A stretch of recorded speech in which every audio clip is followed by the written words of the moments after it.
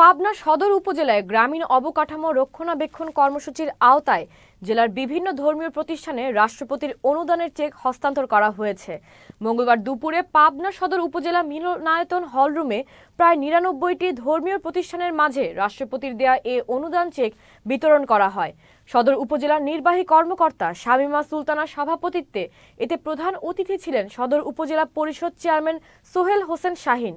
অনুষ্ঠানে বিশেষ অতিথি ছিলেন উপজেলা ভাইস চেয়ারম্যান ইমরান শেখ ও মহিলা ভাইস চেয়ারম্যান রাবেয়া খাতুন, সুমি সহ অনেকে।